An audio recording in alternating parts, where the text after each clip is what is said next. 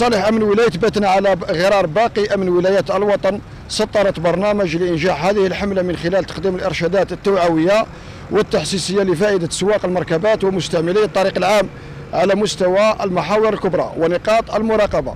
وكذا محطات نقل المسافرين كما سيتم تقديم دروس توعوية لفائدة التلاميذ أو تلاميذ المدارس بمختلف الأطوار. ظن أطلقت اليوم مديرية الحماية المدنية لولاية باتنا حملة تحسيسية للوقاية من حوادث المرور بإشراك كل الفاعلين من جمعيات وأجهزة أمنية وقد اختار وقت يعني قبل ساعة من موعد الإفطار وهذا نظرا للأرقام المسجلة سابقا في عدد حوادث المرور ولا يخفى لاحد انه بالأمس فقط يعني أول أيام رمضان تم تسجيل خمس حوادث في وقت الإفطار. لازم الإنسان يكون يسوق بعقله ويسوق كما نقول إحنا بحذر.